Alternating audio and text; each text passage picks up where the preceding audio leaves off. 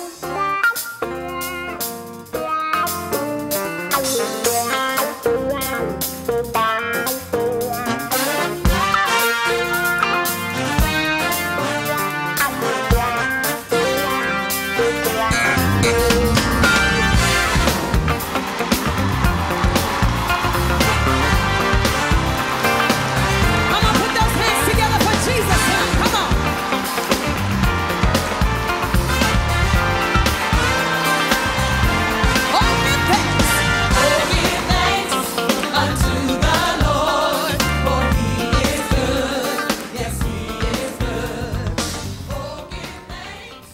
Aha! You've turned to this station and just stay tuned.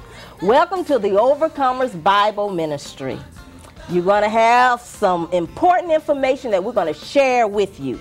So, what we need you to do is get a pen or a pencil and some paper. And then you better go and get your water because you have to come back real fast because we're going to give you some great information. And before we go any further, we would just like to say hello and to our pastor, Bishop Charles E. Blake, and his wife, Mrs. Mae. Blake, and to the West Angeles Church family for this opportunity.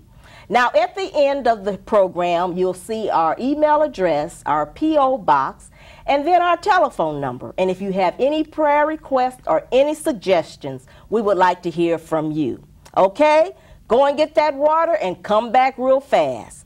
So, I am the co host, but with me is Dr. Tonya D. Lewis. How are you today, Dr. Lewis? I'm doing just quite well, Evangelist Pamela. That's right. You put me in a trickster this time, but it's okay. what are we speaking about today? We are talking about live in Christian freedom. Mm. You know, everyone likes to be free. Okay. But what we sometimes uh, forget is that with freedom comes responsibility. But it's real good to, to know that uh, we can have freedom in our, in our Christian lifestyle. And really and truly, that's the only time that we really will have true freedom Yes. is through a Christ-like Christian lifestyle. Wow. And so uh, we're going to go into the actual classroom setting where we are going, where the Overcomers Bible Fellowship meet on Sunday mornings at 8 a.m. on Sunday mornings and 5:30 p.m. on Sunday um, evening. And we're going to discuss, like I said, live in Christian freedom, taken from Galatians, the fifth chapter, um, and that first verse that we're going to be dealing with, which is stand fast, therefore, in the liberty wherewith Christ has made us free, and be not entangled again with the yoke of bondage. And so the Lord just always kind of moving them unusual. way. We never know how He's going to move in the Right, classroom, right. and so uh, it makes us really excited on Sunday mornings, and I get really excited because Oh, yes, it's do. just a mouthpiece. I'm just a know, mouthpiece. because you even get so excited. You say, "Look, the Holy Ghost came to teach us." It's not even in your notes. Exactly. But you just flow according to the way the Holy Spirit would let you flow. And so we really enjoyed ourselves. Yeah. Oh, and we don't want to and we don't want to prolong anymore because we want we want our audience to join us in the Overcomers Bible Fellowship setting. Uh, we we are a group of people who love the Lord, who love each other. Uh, we're not deep. But we really, really love Jesus. And so sit back and be attuned to what the Spirit of God would say and uh, just enjoy yourself. that's right. We'll see you next time. All right. God is good. Yes, He is. Psychological side of something. To learn about what you know thou shalt not thou shalt not. It's another thing to put it into action. And, in- and in fact that's what our lesson is on today. Paul said okay now i've given you instruction. Now i want you to put it into action. Because you can you can gain all the knowledge you want but and that will only make you armed. But to become armed and dangerous is to begin doing what you have been taught to do. And so see as long as you've been you, you've been given the knowledge of, of, of how to uh, you know martial arts and and, and, and, and you've been taught all the moves. But see if you don't if you don't utilize those moves against your enemy, then you just armed. You're armed with the equipment, you're armed with the knowledge, but you don't become dangerous to that person until you actually put it into place. We don't become dangerous to the enemy until we actually walk in God's word, until we actually walk in the freedom that God has given us through His Word. And so, um, and so our lesson today is to talk about living in Christian freedom, doing the practical application of what we, uh, how we should live. We, because we're no longer servants, but we are now sons and heirs of uh, Jesus Christ. There must be an adjustment in how we think and how we act in order for us to live in Christian freedom. You know what is simple but yet profound, but yet simple but yet profound? Is that in order for there to be change, there must be change. We wrestle with not wanting things to change, but we pray about things changing. Please.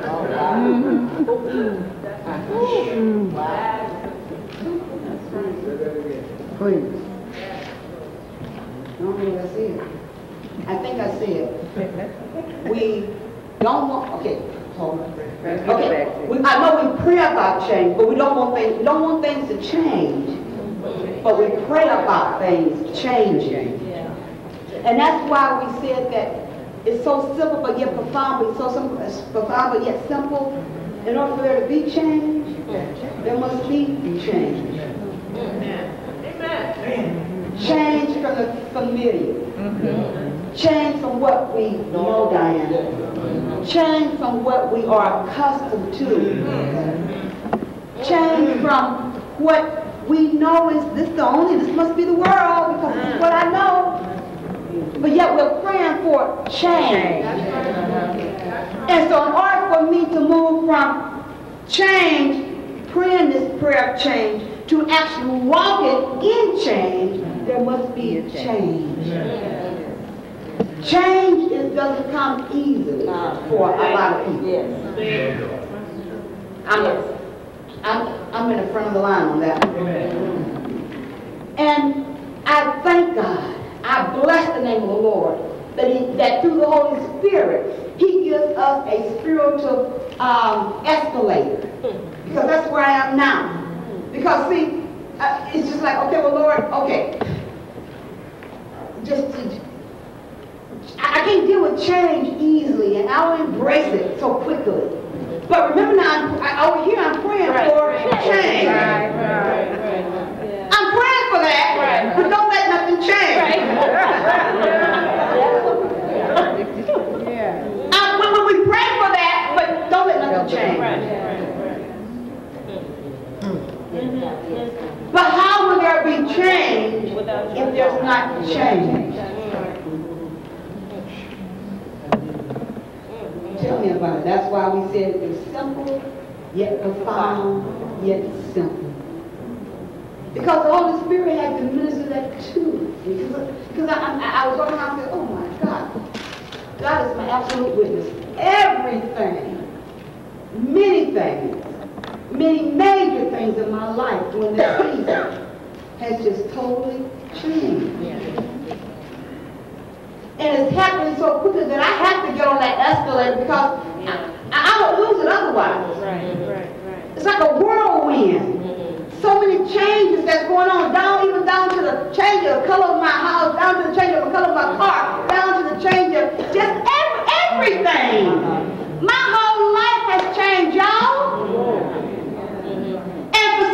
Does not embrace that, the TV 24 hours a day. You couldn't go home to your husband. You couldn't change that clo- those clothes because as a psych- psychotherapist, maybe I'll be sitting at your because you had to help me out. If it wasn't for the spiritual Holy Ghost that says, okay, look, just trust me and get on for the ride. See, that's a spiritual escalator.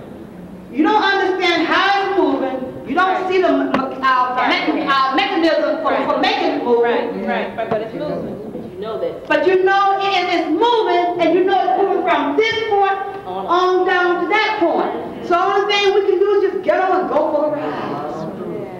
And that's what the Holy Spirit wants us to know. Living in Christian freedom means get on and going for the ride. Because we're not going to understand a whole lot of things. But his challenge to us is, can you trust me in the change? Hmm. See, as long as I know ah. Ah. I don't have to know a lot. I don't even know where this escalator is going. I, I, I really, I really, I really, truly don't have to know where it's going to end. But as long, as long as I know that God is organizing and orchestrating and set that escalator up, as long as I know that, that's all I need to know. That God, you are in charge of my life. Can't tell you when I'm gonna end up. Can't tell you, I can't give you no details. But as long as I know, and as long as we know that God is in charge of our life, then there comes an automatic peace that we can rest in. What? What? that- What is another? What? Why? What is that? Why? We go through all that. Ah, What? What? What? What? What? What? What? What? What? What year? You you you don't have to do all of that. You just get on and hold on. You get on and hold on. Yeah. And you have to hold on because you're moving. Amen. Amen. If you weren't moving, you would have to hold on. Right, right, right. But we have to get on and we have to hold on. Amen. Amen. God's in a changing hand. That, that, that came to my mind, really and truly. What Cliff was referencing was that we were um, praying to the Lord, and the Lord gave me that our lives will, will on the subway, or the, the, the, the train. And, and on the train, there are seats, but there's also room for you to stand. But in standing, there has to be a guard there. Because it's, again, it's moving. See, God never just stands still. Everything he does is always moving. Whether we see it moving or not, it is moving. When I was on the cruise, they didn't have the motor on, but yet we still were moving Right, down to right, Right. because we were drifting on the waves. And so you wouldn't even know you were moving, mm-hmm. but you were moving. You could tell the difference when we got to Ensenada and it was time to come back home because then the captain said, okay, now we're going to turn on the motor uh, and, and we're going to come on back in, it, uh, come, come, come on back in. And you could tell the difference. But I couldn't say that wasn't moving as we were going because we got there. Right. Right. See, we got there. So that was evident. See, when you get there, that's evidence that you were moving all the time. But it just wasn't on. It just wasn't. You- Man, I didn't know I was moving. Right. Right. Was I really moving? Yes, because guess what? We left from where we San Pedro and we got to Mexico. So that must have meant that there had to be movement involved. Subtle movement. And that's what he does. Subtle movement. And even right there, this whole last five minutes has been enough to change your life.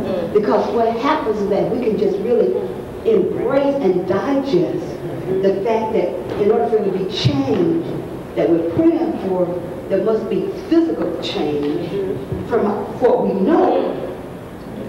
It will usher in the peace that we need, knowing that, Lord, all I have to do is just get on in you and hold on. Because as long as I'm in you, I'm moving. As long as I'm in you, I'm going someplace. It may be subtle, it may be drastic, but I'm moving.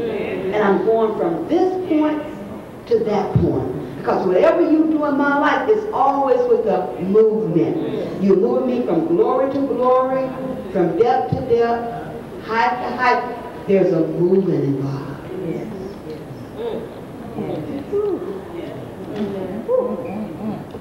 Selah. In order for there to be a change, there must be change. So I would challenge Tommy and us finding to release and let go. Mm-hmm. And say, you know what? I know this is familiar ground right here. I know this is what I know right here. Maybe hell over here, but I, ah, this is what I know. Mm-hmm. And, and, and, and, and given a choice of living in what we know and we don't know, give me the hell. But yet still,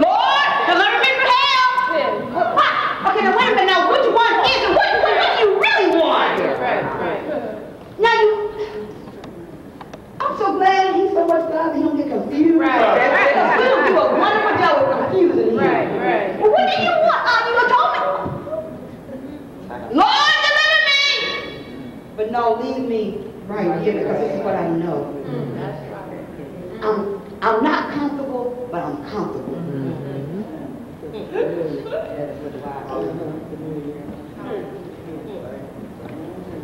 I, I know I don't like the mechanism that he he, uses to, for that escalator to move on like, sometime, sometime our house burned down in order for us to make the move. No. Sometimes we, we have to hit bankruptcy. Not because God wasn't able to contain us over here, but the thing about it is that we didn't walk in the knowledge that we were equipped with over here. And so when we don't walk in the knowledge, then uh, negative things happen. And and not only that's not all the time that that negative things happen because of what we, but I'm just saying things happen. But see, again, that's one of those guys, okay, now is this, a God? remember when, um, when, when Jesus' disciples passed by the blind man, and they said, now who's seeing? Right. Him and his parents. Right. They ain't got nothing to do with it. Right.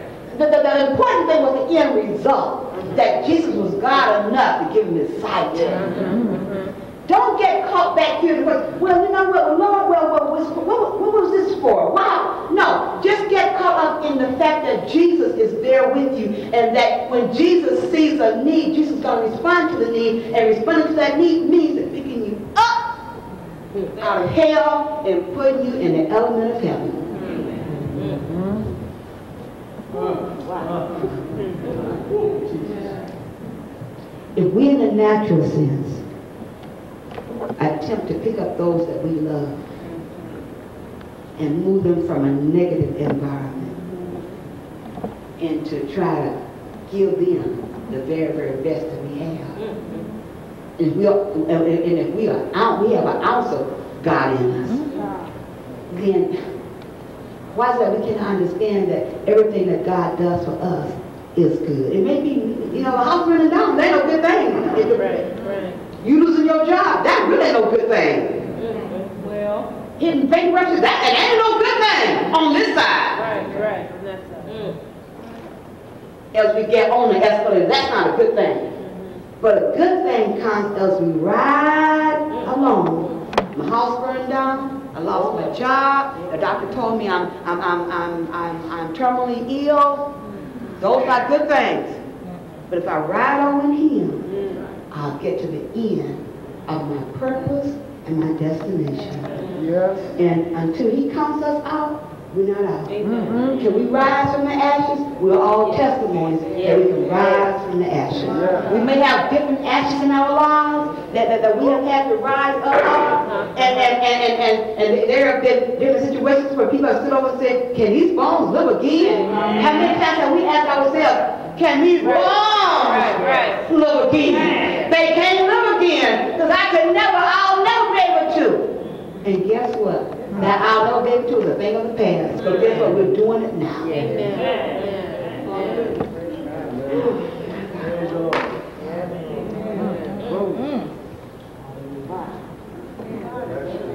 That's why he, he's putting, he's an awesome God. That's why I keep hearing. Awesome.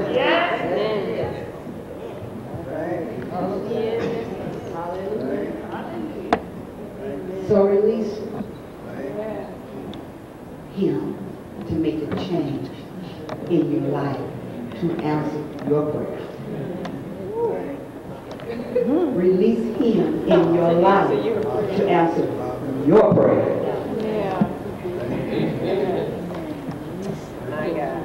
He's not trying to answer his prayer. Right. See, it's your He's prayer. not answering the prayer for somebody else. That somebody else pray for you.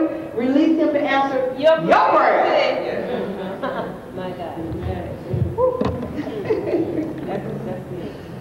It's the simple things. That's why he said use the simple things the wise. Right. Right.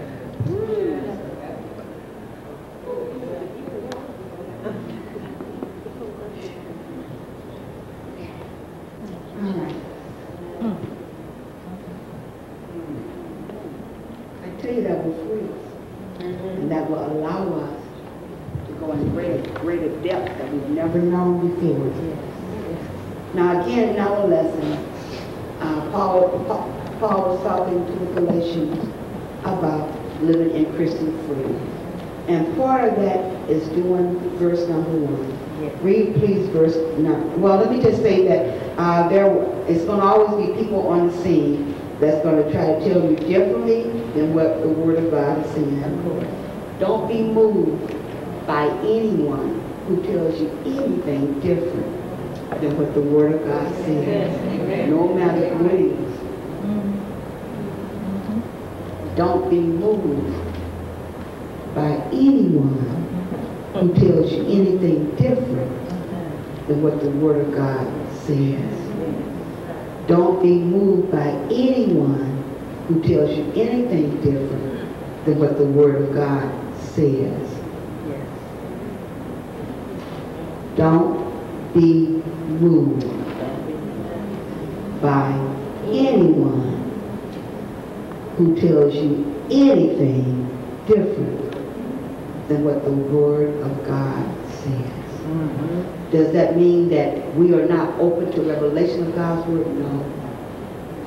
But the revelation that comes will, it will, your, your spirit will say, oh, okay, right.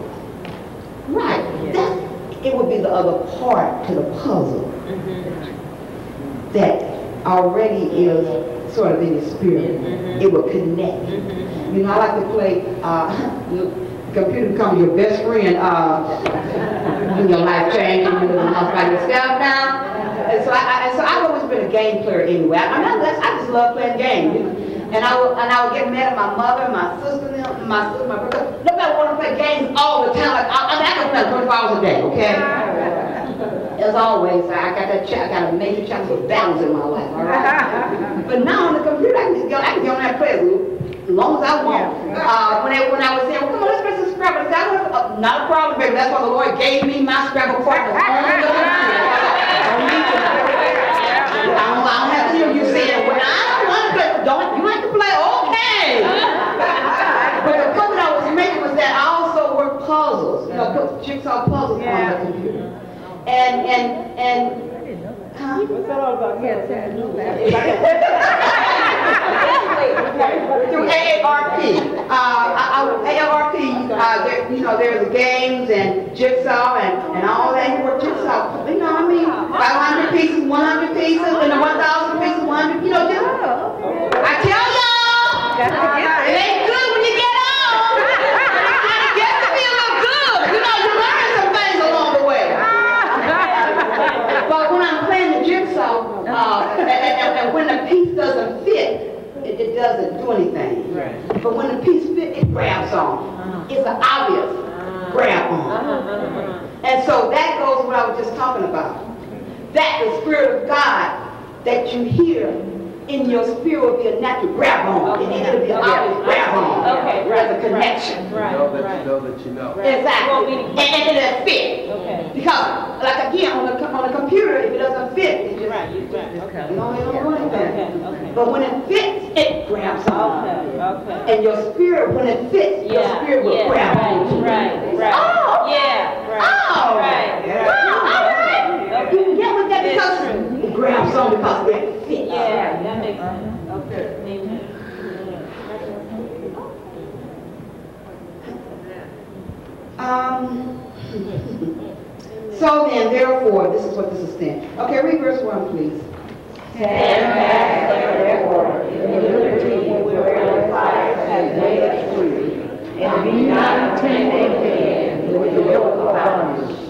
Paul here urges the Galatians to hold to the sound doctrine he had taught them, rather than being confused and caught up in every new wind of doctrine. Don't try to follow everything that comes by. You, you- you just can't follow everything. You just can't be nice to everything. You have to become adamant in what you believe because there are so many things, other things that will that will challenge what you believe that you can't afford to be. Okay, well, let me see what you just said. Okay, but you know why? Because every every belief has an element of truth Right, in it. right, right, just enough.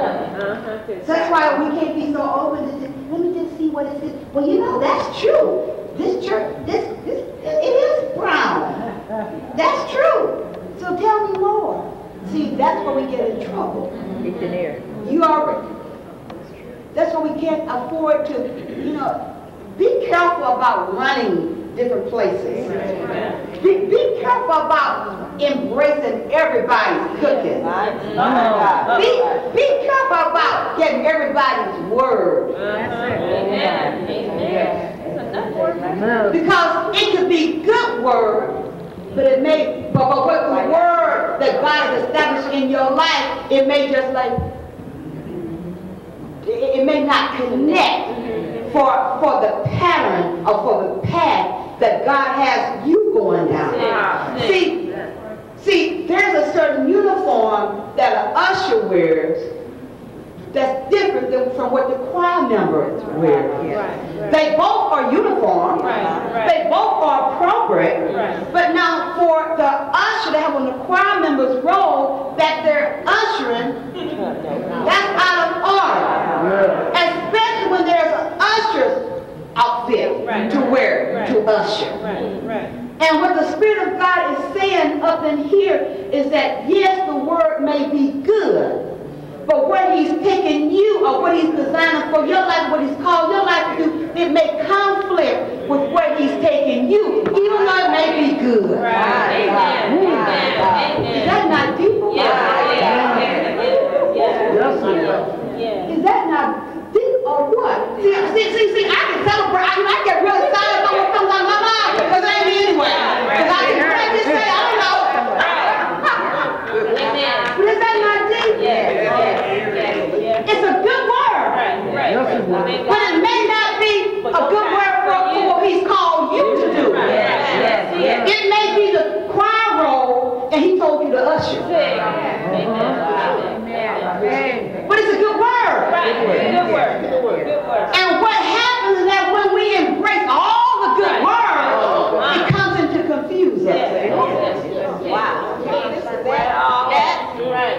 And so, we, and, and, and so we, and so we walk around confused in the body with all the good words. Oh, oh my, oh my, oh my. That's true. And, and, and, and, and I don't know what could be more deadly is to die with something that is good. Mm. Uh. Or to go crazy from something that is good because we mixed it up. Wrong. You can't mix everything. They, they, in the natural sense, they, they give us warnings about, okay, you're going to take this kind of medicine, don't, take- don't drink no coffee, don't, don't drink no alcohol, although we ain't drinking alcohol anyway. Amen, brother? I'm just picking on you because you're so, you know, you're so cool. You know, you, you cool. What's your name, brother? Uh-huh. Uh, Lewis, brother Lewis. Brother Lewis. I like that voice, Brother Lewis, all right. But, but in natural sense, it tells us don't mix things. Now, coffee is, you know, coffee is good. We won't, we won't get into the other thing. Coffee, you know, for the person who drinks coffee, coffee is good to that person. But it may not be good, it- it's not gonna be good combined with, the caffeine combined with. And so, and so, and so the point that the Holy Spirit wants to understand is that all, all the word that can come through the righteous man of God from the word is good word. But it may be deadly in mixing with the prescription they've given for your life.